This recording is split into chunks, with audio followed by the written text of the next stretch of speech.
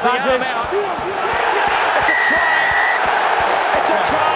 Guido Petti. Pocock has it at the back. Again, some offside play. There it is for Pocock. He got it down. Whip from the ball. And straight into the bread basket for Van der Merwe. And Canada strike back. Five metres from the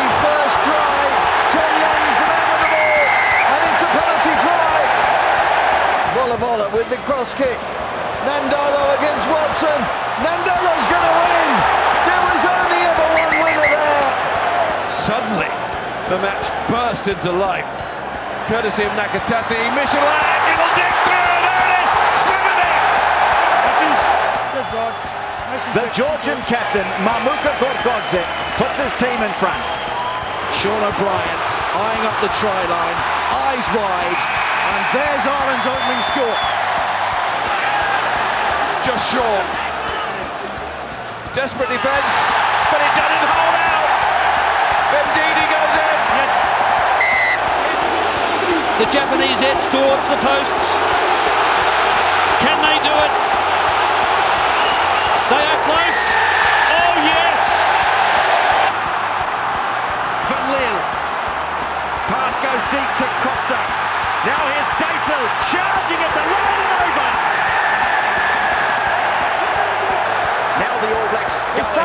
ahead. Coles has it. Black broke away.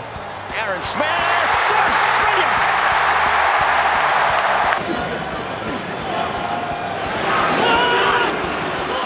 Well, here come Romania. They got a chance with try.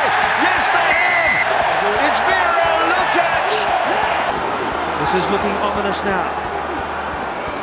They attack on the left. Tuilagi's there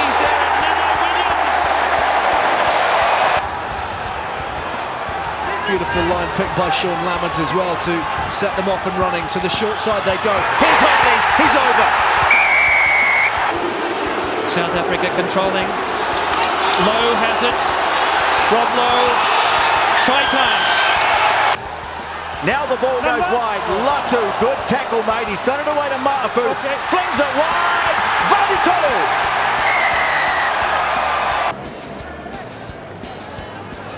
The coach was the last man to score a try at a World Cup against England back in 2003 at Suncorp.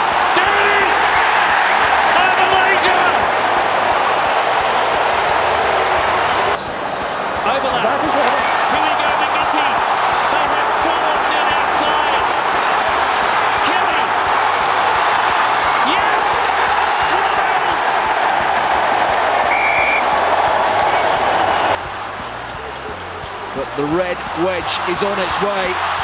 And it looks like Samson Lee who might be at the bottom of all of that.